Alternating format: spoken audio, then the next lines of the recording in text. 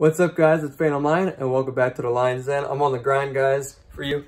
I'm recording a video while rendering a video, so I'm on top of it for you guys. So anyways, we have new Season 2 Twitch loot in Modern Warfare, and it's the same thing as always.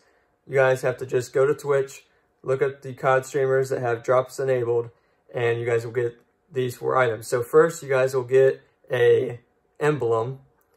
Second, you guys will get a spray Third, you guys will get a one hour double weapon XP. And fourth, you guys will get a calling card. They're all on my thumbnail. Um, I will probably post the image on Twitter so you guys can zoom in and stuff. I just want to get this quick for you so I'm not really focused too much on making a, you know, A-graded video on this. But yeah, new Season 2 Twitch loot for you guys, and it's free. And all you guys got to do is watch streamers for one hour you get the emblem for two hours, you get the spray. For three hours, you guys will get the one hour of double weapon XP. And for four hours, you guys will get the calling card. The emblem's pretty dope, so I will be watching one hour of Twitch for the emblem. And uh, yeah, guys, just wanted to let you guys know. And thank you guys so much for watching. I'll catch you guys on my next video. Peace out.